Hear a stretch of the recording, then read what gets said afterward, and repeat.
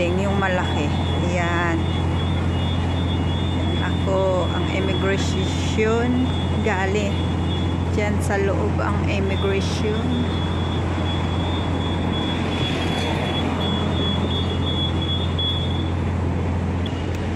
Ayan, ibang klaseng building. May sa gitna. Tapos yung isang building. Ayan. Ayan.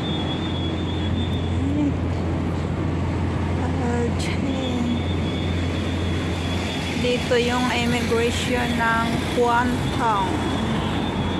Ayan oh, ang laki ng building. Square, square.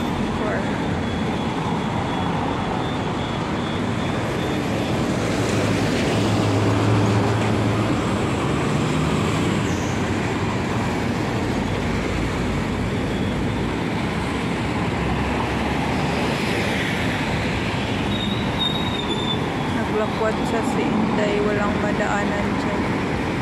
Saan ako dadaan?